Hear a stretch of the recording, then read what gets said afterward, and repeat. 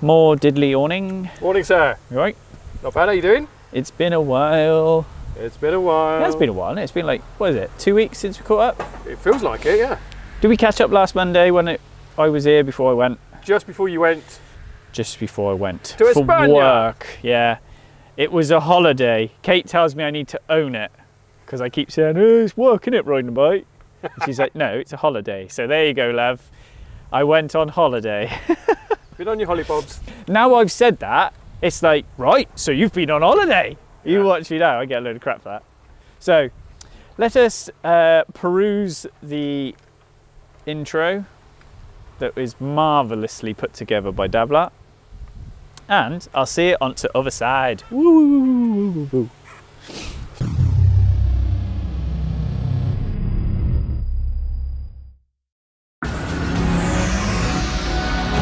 So this is like the parts that have turned up while I've been off. So we got a couple of service kits, um, a load of repair kits for different things.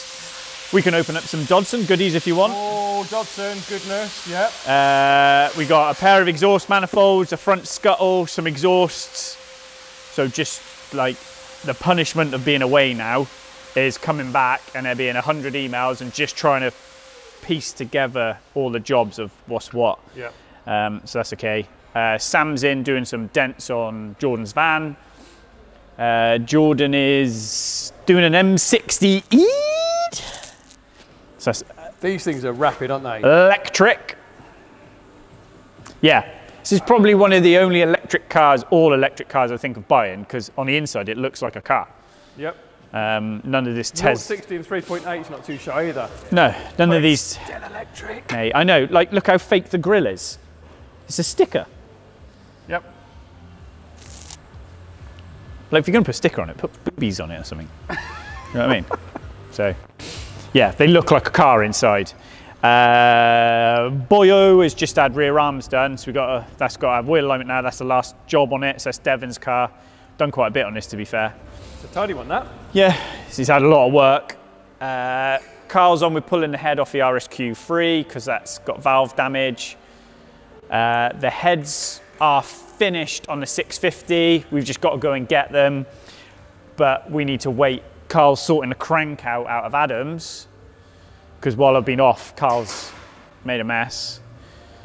So this is Adams. Uh, this is the one that uh, had rod knock. So Carl pulled the engine, stripped the engine. He's now got to start sorting everything out so we can reassemble it. But if we go, I have never, genuinely, never seen uh, a R8 sort of have bearings in such poor condition. Like where the oil's oxidized, look, it's just, Yeah, let me just uh, change my focus area. that better? Well, there we go. Zoom. Wow. Yeah, so you can see where it's all started to take the top coating off. Yep. This one's the same. And it looks like milky oil on it, but it's not. It's actually taken the top layer off. And so what's happened then with those, uh, and a lot of the bearings are the same. Uh, like there you go, that's the opposite end of the engine. Yeah, they've done the same.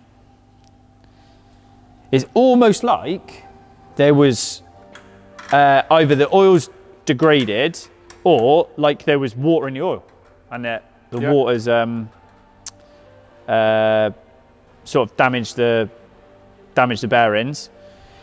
Uh, but what's happened is where then it's got a cavity and the oil's been able to sink into the cavity, it's grabbed the crank, grabbed all the bearing and it spun the bearings in the in the rods. So instead of being across the parting line the rod like that, it spun them. Look, you can see where it snapped the tab off, the locating tab Yeah, yeah. spun on the rod. And I gotta be fair, like the crank looks mint, doesn't it? Like for how bad it was, like the crank is there's some gentle brush marks. They look like Scotch Brite marks on the crank. So we'll get the crank polished and measured up and make sure it's all right. But at the minute, I wouldn't trust the rods. Once you've spun a bearing in a rod, you've got to throw the rods away.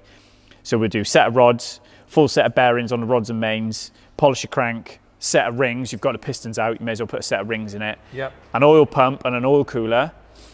And I think that's about it. But that is, uh, honestly, I have never. I've seen a lot of bearings do some weird things, but I've never seen them do that. And is this like ticking a big mileage? What's it? No, no, no. Low mileage, looked Yeah. after, full service. Because I, I messaged Adam, he's like, no, full service history. This is almost like, and uh, it, it is a good thing, look, right? So this is a bearing out of a rod. If I hold the part in line, look at what the heat has done to the bearing. So they're equal at the top, look, Yeah. and it's taken the elasticity out of the bearing. Because obviously, when you push the bearing in, it you compress it, and it's actually completely deformed the bearing. Sort of warped, isn't it? Yeah. Wow. Um, yeah, so very, really, really strange. Really strange. Um, so I don't know. I don't know. I've consulted my book and it literally says oil degradation. Um, I, I don't think it's overheating, it's not overspeeding, it's not that kind of wear. When you overspeed an engine with low sort of oil lubricity, you get wipes, whereas this is like, this looks like corrosion on a bearing almost which is why we were like, oh, is it is it moisture? But I don't know. I don't even think. It is a mystery. Yeah, but it's done it consistently on all of them, consistently. So it is a bit of a strange one. Anyone's got any ideas or has seen it before? Let me know. But yeah, it's like um, it's almost like a cavitation, like a like the oil's broken down almost. But And how did this present when it was brought? Uh, 3,000, 2,000, 3,000 RPM knock-in noise, right. like a tap-in noise. Yeah, and it's basically it's rod knock. So, yes, not good, not good. Don't see it. Really don't see it. It's not like they're bloody BMW V8s that knock rod bearings out for fun. So, yeah, we've got to sort this out now and start to put this back together. But we're doing oil pump for matter of course. We do oil cooler because there's swarf. If there's any swarf, it'll get caught in the oil cooler. Strip it, strip everything, clean it. And yeah, it's a good one. But You have a I- full team I- behind you, sir. I don't know why I've got. Thanks for my warm milk. Let's not get in. bad. That's one. That's of the, pretty good. That's one of his better ones. What's that? It's warm. And Milky. I had a cold one earlier. Honestly, It's very long. that's how you. far I've got to reach. How was Japan? It was very Japanese. Is it? I haven't seen you for like three weeks. I haven't No, missed it's, you at it's all. been great, isn't it? Yeah, yeah. I think I, I both timed of us. that perfectly. Yeah, so yeah. I come back and you were gone. Yeah, you come back in on Tuesday and I went there. I'm like, how can I Both our- maximise this time away from Rick? Both of our quality of lives increased, improved. No, it's good. It was really good. Tell us what you saw then. Run through the, the list of tuning shops. G- GTRs. Uh, lots just of lots GT. It was GTRs. heavily Nissan based because all the guys I went with have got GTRs. So I was a bit lonely there. I just pretended your Skyline was mine. It's not GTR though. No, it's- So it's close you enough. were made to sit with dinner on I your was, own. I was with the poor Yeah. GTS-T people. Um, Bet none of them have got a super sport bike. Sure. No, uh, what did it go? Nismo, Top Secret, Tomei. What was Tomei. top secret? Top Secret wasn't the best because they wouldn't really let us in. It was that top secret. so you're not allowed to see. Thanks for coming. Here's the waiting We took a room. photo outside. Now leave. I think they get a lot of people turning up there Do because they? it's one of the biggest, like one of the most well-known ones. So they get a lot. Obviously, they're So trying to, it it's like being here and it, they're trying to work, and they've got all these people turning up. Wow, I say you guys try to work. That is loose. They have people there. Loose. They work. We, Yeah. They have employees. the full In the car building. park says you guys don't work. and did you uh, have a nice hire car? I did. I had a Granada. R33 GTR, Did you? not a GTS-T, GTR. Did That- you? It was a bit ropey. It, it's seen better days. How long did you have that for? Three days. Did you? Did you do donuts? No, because I was a bit worried it was going to break. It was making a lot of noises Nice. that it shouldn't make, and it had a bit of a misfire. but we just Powered drove through the misfire, and it seemed to get better. But uh, yeah, it seemed better days. But it was, me any bits. no, I all, all the other guys were buying spare suitcases and bringing bits back. Were they? Mm. And you didn't do that. I didn't do it. Didn't even message me to say, "Do you want me to bring you this?" No. no. There was lots of bits. Bring me any. Did you come back with any Honda bits? I did. I brought. I brought bits for my Hang on. car. I brought some Mugen bits for my car. Did you Really? Yeah. What did you get? It's like a oil cap. What? I didn't have much room in my luggage, so. And Yeah, full um, carbon bonnet. Mugen badge. Mm. It's not Mugen. No, but So you bought a Mugen badge from non-Mugen Honda. yeah, it'd be fine. Oh god. Honestly. Right. Yeah, I think we need to sidestep this quickly On that note, before the piss taking continues. So. But you had a nice time. Yeah, it was good. Now you're back to reality. Yeah, I might go back to Japan. Why? Because you're the tallest person I there. was, yeah. It did work well because I had my red motor coat on. So then the, the other group just used me as like a, As a beacon because I'm like two foot above everyone else. I'm glad you had a nice time. It's a very long way away though. Yeah, yeah, yeah. The flight is horrendous. yeah. And with your non-leg room. Yeah. Did you not turn left on the plane? Uh, no, they. I tried, but I was on an aisle seat. But every time someone walked down the aisle, they just walked into me. Yeah. Did you not like try and get a bump an upgrade or something? Yeah, it was a thousand pound Was it? each way. I bet now though you're wishing you had done it. But it's a lot of money. Yeah. It's all right. But just so you can say you turned left on a plane, that is an Instagram moment for your seven followers, which is all of us and your mum and dad.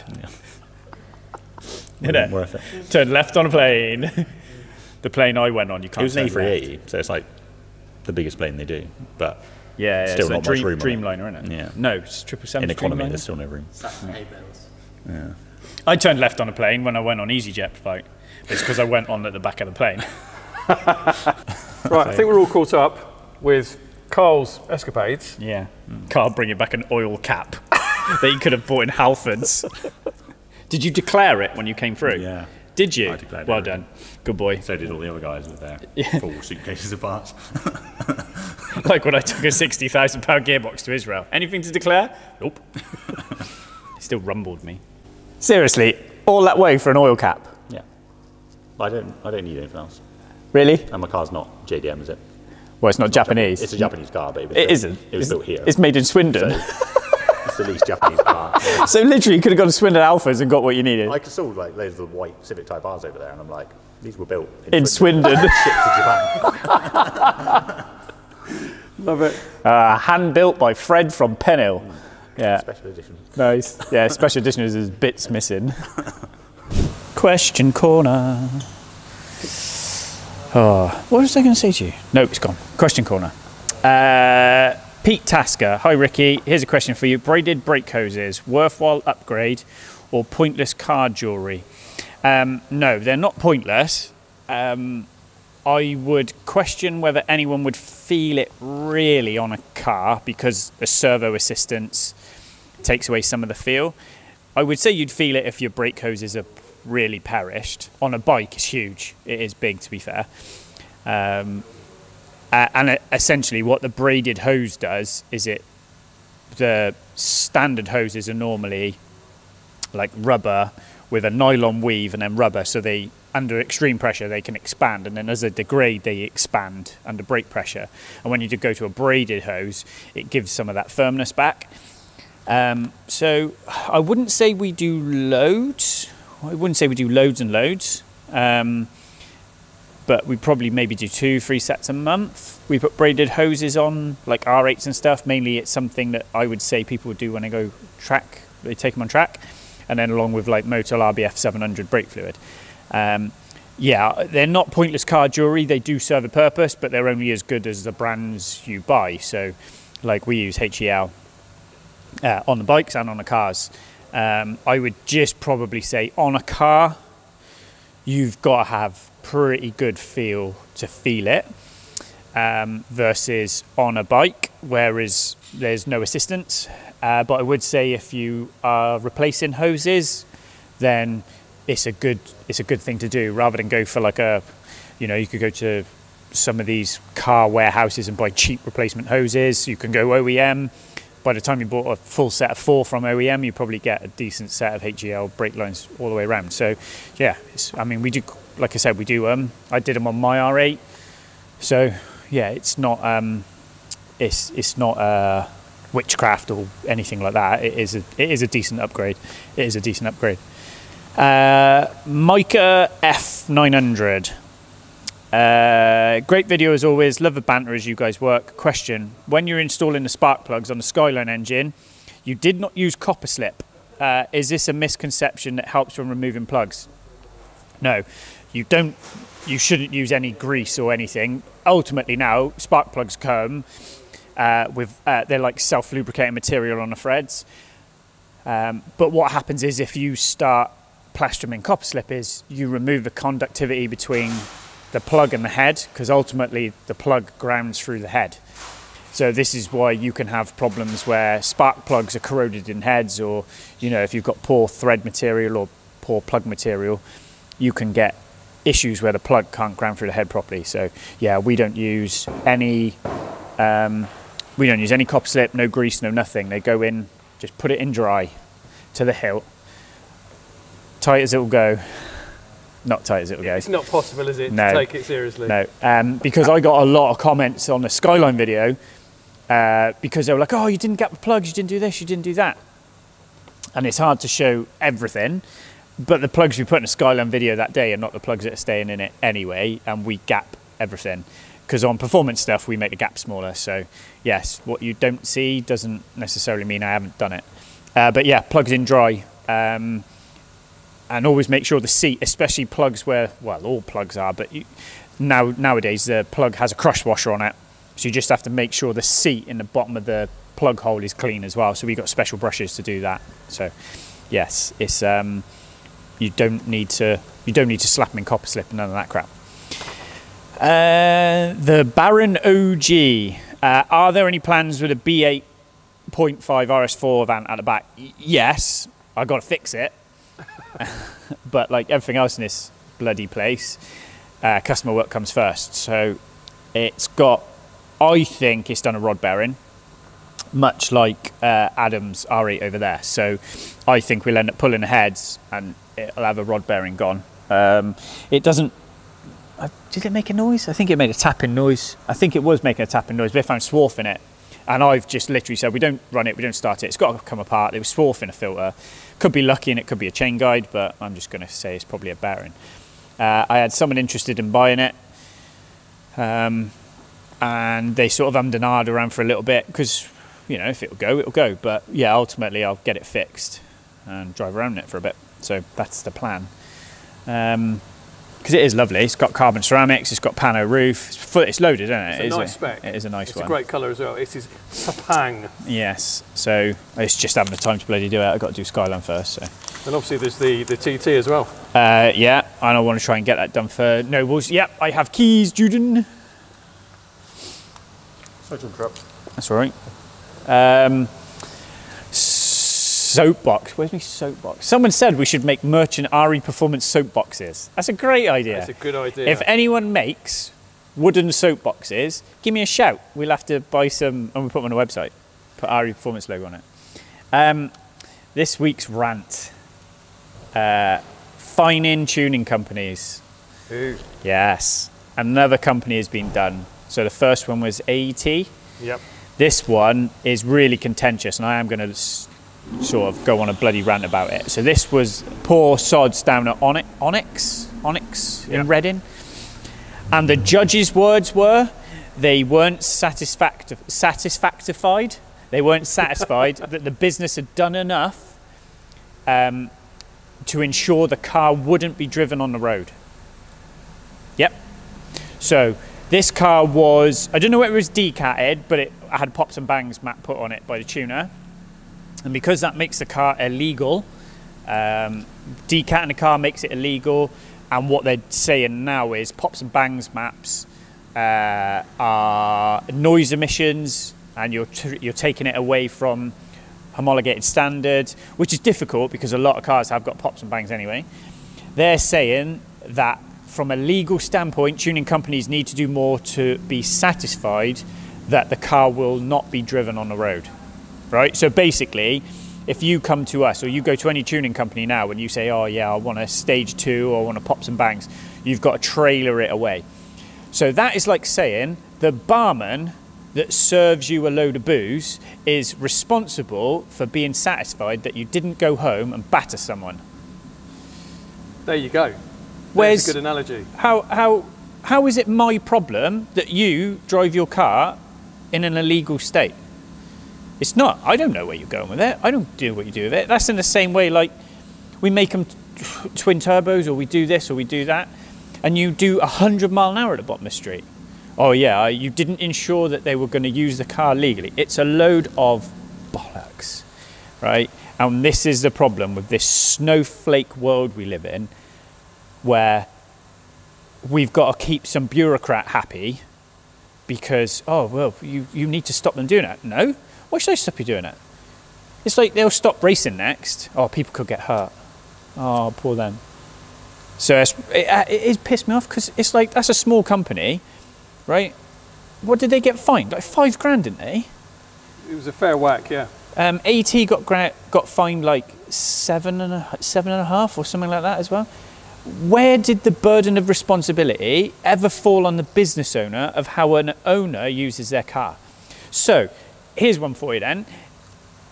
Car comes in, so if anybody takes a car away from an MOT centre that's failed its MOT and the car kills somebody, is the MOT centre going to jail?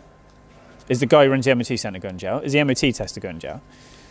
How is the burden of responsibility on a car that doesn't meet the requirements of the law a business owners who has worked on the car? Do you see? Do you, like, Yeah, let's take it away point. from a tuning side of it. So now I've got to do what? If I, I mean, we don't really do that kind of work anyway. We like the stuff we do is like we yes we change exhausts on cars. So have I now got to get people to fill a form out to say they understand the car doesn't is moved away from you know being It's legal, original. yeah, and I've got to ensure that they take it away on a trailer. So what's to stop them literally driving off my driveway on a trailer, getting to the end of the driveway, unloading it and driving down the road? What's the difference? So I kind of starting to get my back up a little bit because the government take the piss out of business owners anyway. So the like it's eighteen hundred pound a month in business rates. So the cost of running your own business in Swindon for the size of my business is eighteen hundred pounds. I don't get my bins emptied for that. I don't get anything for that. That is just the cost. That's a tax. And now they're coming after business owners who work in the motor trade because they're doing things for customers who are then choosing to use it on a road that are illegal. And it, it's it's just a joke. It is a joke. We live in a ridiculous world now. How is that the burden? How is the burden of responsibility? That, y- y- y- do you know what I mean? Yeah. I, th- I think some of the some of the issues with that is the, the, the pops and bangs maps has got such a, a big thing at the moment, and It, it you know it's not our thing. We've said that. no, it's uh, like, like luckily or fortunately, I just don't work in that realm. Yeah. But when I look at it, it's no different to a bar serving someone alcohol and then them going off and doing something stupid. How is that any different? Yeah. What you choose to do as a grown ass adult is on your. So, okay, then. So, if that business got charged five grand, what did the owner get fined? Yeah. Yeah. What did the owner get fined for choosing to make their car illegal on the roads? Are they banned now? Have they got six points on their license? Have they because everything's publicised about the own about the business that did the work. Yeah. Whereas the yeah, if you search it up, the judge's words were they were not satisfied that the business took enough precaution to make sure the car wasn't. That's a cop out. Here's one then. So you can go to certain shops and you can buy. I know where you're going. Something Paraphernalia. Some paraphernalia. Yeah. You might call it hydroponics. Yeah, It might be something like that. Yeah. Now, is that shop now going to be? yeah, because they put word in it, weed in it instead of backy. Yeah. How do people get needles? Like for jacking yourself up, where do the needles come? Like, you can't go Sainsbury's and buy a pack of ten needles. Do you know what I mean? And then, honestly, mate, I, I don't understand the world we live in where people's choosing to do something stupid is someone else's responsibility. We said this about Dieselgate, didn't we? Yeah. Do you know what I mean? It's the same, like, oh God, honestly. So, for business owners who are out there who are tuning cars and stage two in cars or putting pops and bangs maps on it, get your invoice signed, get a disclaimer signed, and make sure they're taking it away in a trailer because they're coming after us. Like it's hard enough to make a living in this bloody country as it is. Yep. Honestly, government just take their fucking piss, don't they?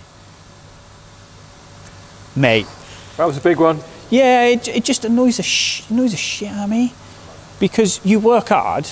Like this is going going off. Like I I got three guys, so I sit here and I go right. I got four mortgages to pay. That's how I take it respons- responsibility wise, and they pay them their wage, and they earn bloody hard for their wage.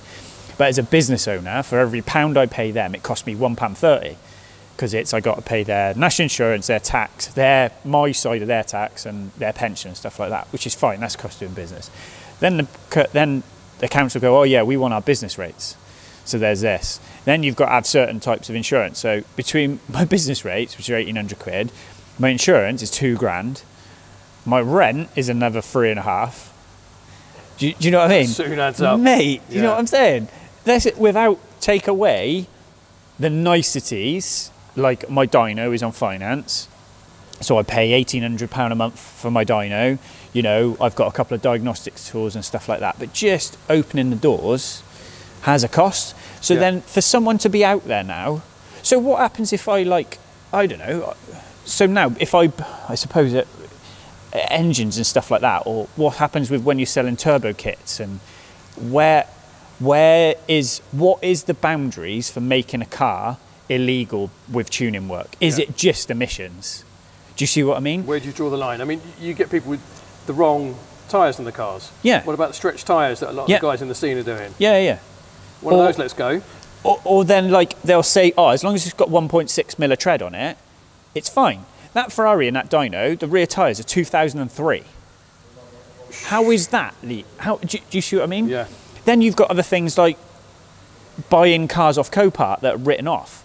Now, I've seen work out of professional workshops that I wouldn't drive.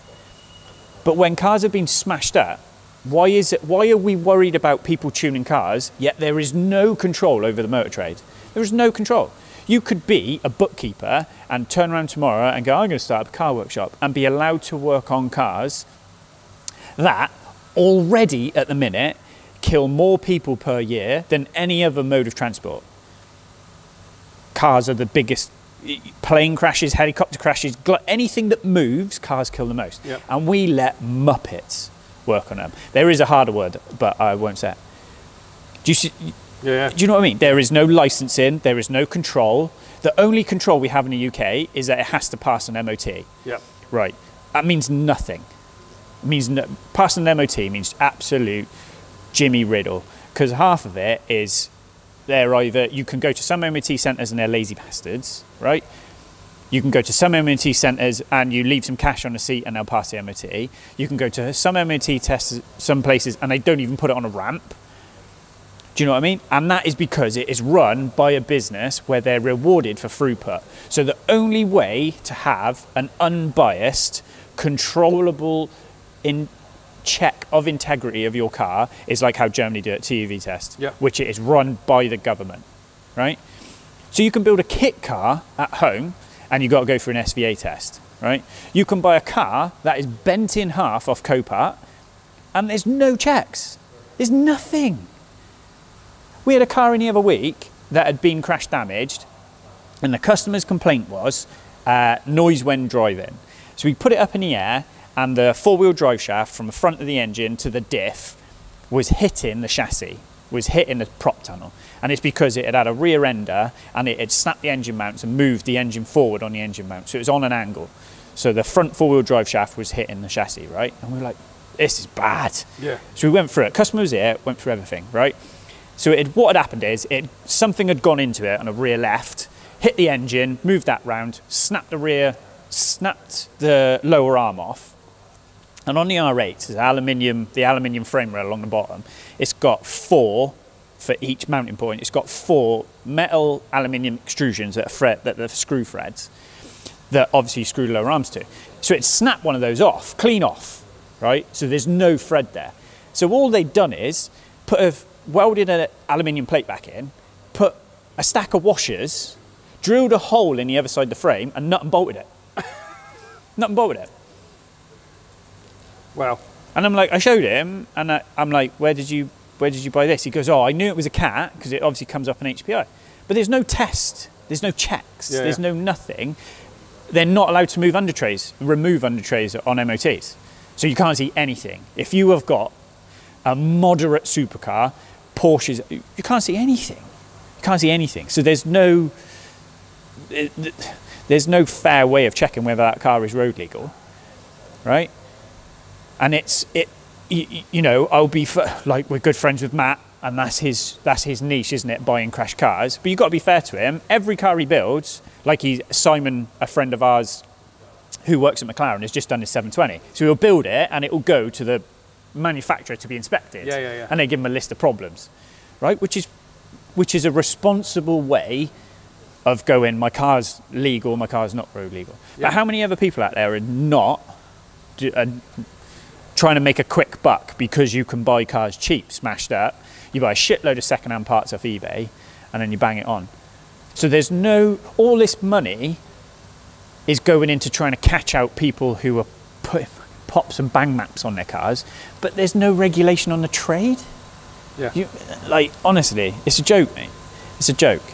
It doesn't matter how hard you work to be a good, to, to do a good job and to make sure cars are safe and responsible. There's so many shitheads out there working on cars that I wouldn't trust with a Meccano set. Yet you put your wife, your kids, your family in it, and you do 70 mile an hour down the road. That puts it into perspective, dude. I think so. What have they done? How much did it cost them to take Onyx Performance to court for five bags? Yeah. Do you, like, and the, uh, what is it? The head of VOSA's come out and said, "We're thrilled with this convic- conviction." Oh, what a parking warden! Go off and do something proper. Go and find cars that are belching out black smoke down a motorway. You, you know what I mean? Just two companies. That is that is what they've. So they're either coming after more of us, or they're literally doing a tick book set, book exit. They- think that's going to stop pops and bangs maps Yeah. when you can go on eBay and get Fred in a shed to make you a pops and bangs map that you can put on your car on your driveway. What Yeah. happens when that? Do you know what I mean? Where's the conviction of the owners of those cars that have wanted to do that? Why does it? Why is the burden of responsibility the business owner? Why is it not the owner? I get. I get. I do, do you know what I mean?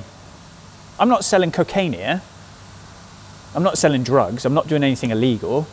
If you choose to use it on a road, because that driveway where I keep all our cars is off public roads. If you choose to take that on a road, so the motocross shop that sold this to Jordan, if he decides to ride that down a road, can we go after? Can we go after them? Because they've sold it and they haven't taken. Because this is for motorsport use only. This isn't for green laning or this isn't for going down the fields, right? So this is for off-road motorsport use only. So are they responsible now that Jordan decided to ride it down the road? If he did, he hasn't. But do you, do you see what I mean? yeah. Yeah. I go I, my race bike off OMG. If I drive it out of here and drive it down the road, is Paul responsible because I've chosen to use an illegal vehicle? It's not legal, but it's, it shouldn't be on a road. Yeah. Do you, you, Yeah. why is the burden of responsibility of the business owners? It's not. If you choose to be a dickhead, mate, honestly, it baffles me. Absolutely baffles me. Right. I need something stronger than tea now. I think we might need to go. Uh, I don't know. Am I? Am I at? Am I? Have I got this wrong? Have I got this wrong? let us know in the comments. What are your thoughts? Do you, do you know what I mean? Yeah. You know, we've got customers that go to like Wiltshire car cruises and stuff like that, and they do burnouts. Yeah. Do you know what I mean? Is that? Ah, mate, Is that your responsibility? I can just keep going. Yeah. I can keep going. Yeah. When you do a burnout, the tyre smokes. Is Yeah. is that Michelin's fault now? Because the tyres smoke, and that's a, honestly, I'm baffled, mate. Oh, genuinely baffled. I feel for them two companies. I really do. Because it, how is it? I don't understand how it's the business owner's responsibility that you do something that you choose to use the car in an illegal fashion. Lads just raised a good point. Uh, Huracan's got pops and bangs maps. The R8 Gen 2 has. You said Mini has as well, Nick. Uh, Or BMWs have got them. the Cupras, the S3s, they've all got pops and bang maps From the factory. from the factory, OEM, right? I, I, can, I can understand people who say, why would you want to decat a car? I can, I can understand that. There is, a, there is a tuning aspect to that. It- at the end of the day, air in, air out, so whatever you can help there. But I understand the emissions thing of it being made, you making it illegal by decating the car. I can understand that. Still not my problem. If you choose to do that and drive it on the roads, that's your problem. Um, Although it being proven now it isn't. But how do you regulate the pops and bangs? yeah. Because I am, I am not joking. What is it now? 77 dB, 78 dB is the noise limit for car on the road? Right. Not a chance, right? I know they say they get through static noise testing. I bet they wouldn't get through a dynamic noise testing on a downshift. No way. Because no, my car wouldn't get through Donington on a noisy day, and that had a stock exhaust on. That was the R8. That was the R8, Yeah, yeah. yeah. I had factory sports exhaust on, was completely road legal, as homologated. I never changed a thing, and I would get black flagged at Donington down start finish straight on a dynamic test because of downshifts. Yep. So how does that work? Where's the measurement? Where's the where's what's the measurement of that? And where's the consistency Yeah. as well? How are OEMs allowed to do it and we're not? So let's say we didn't tune it, we didn't put any more power in it, we just put pops and pops and bangs maps on it. There's no homologation code for that. There's no homologation code to say that's got pops and bangs, that hasn't. Yeah. So you stand there with a policeman and you go, no, it's got it as standard. Uh, Has that happened? Have you been pulled over for pops and bangs and it had it from factory? Do you know what? I think some of it is also, you know, if some young guy has done it on his Fiesta ST, then, oh, naughty, naughty. But some wealthy guy on his Huracan, ah, Would it even get looked at? That's okay. Yeah, yeah, yeah. But th- and that's so. Where's the measure? Yeah. Where's it? Because let's say it is an 18-year-old kid, and you can get some of the STs and stuff like that with P and Bs. Yep. Where's the? If he stood there with an officer who thinks they know more than what's, do you know what I mean? Because every policeman thinks he's a motor trade expert. What's the? Where does he turn round and he goes, uh, like you've seen them videos of guys getting pulled over in Teslas. Oh, what, you're using your iPad? No, mate, that's the controls for my car. Yeah. Do you know what I mean? That kind of thing. Where's the Where's the measure? I struggle with that. I struggle with that. Let us know if you get pulled over by the Rozzers for your P's and B's.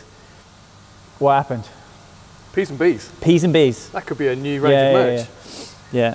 P's and B's. Pops and bangs. And you would literally have Yeah. some P's Yeah. and B's. And B's. Penis and balls. I, I'll have a penis and balls map, please. Secret code. I don't know. Maybe I'm taking this too far. But Uh, fun if stealers. you want to explore this image, this uh, sorry image, this issue a bit more, Yeah. you should come to one of the car shows. come to a car show, or I tell you what, come to mine and Al Fagan's live live podcast on the t- Monday, 25th of March, Monday, 20th of March. and ask a question, and I will happily rant away with him. Al will be like that. Podium, Podium Place, Newbury. Yeah, 30 quid a ticket. Link in the description below.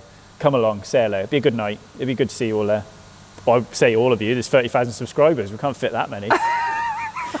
Just a hundred. 100 will Just do. a hundred. That's all I need. A commitment from a hundred of you.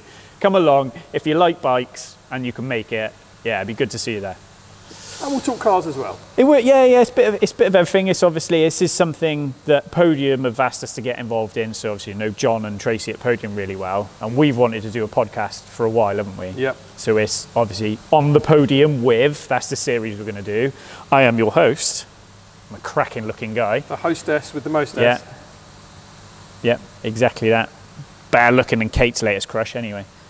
Um, uh, and then, yeah, we'll try and get guests on. So, obviously, Podium really like the bike thing at the minute. They want to attract more bikes in, so we get Al in. We've got- spoken about doing one with Al for ages anyway, haven't we? Yep. So that'd be cool. But yeah, we'll try and get more people in. Someone said Marc Marquez. I don't think I have got that pull, if I'm honest. Um, but yeah, get just- your people to speak to his people. yeah, yeah, yeah, yeah, yeah. My people wouldn't even know who his people are. so, however cool that would be, Yeah. yeah. I would say some words to him, like getting involved in the 2015 championship with Rossi. That is basically what that interview would turn into. It would. Is me sitting there for two hours telling him he's a dickhead. but he's going to win MotoGP championship this year, so I'm going to get tea and Okay. cool off and put my soapbox away. Let me know if I'm out of whack or if I've got it all wrong. Let me know if you can make me soapboxes. and we'll see you at podium.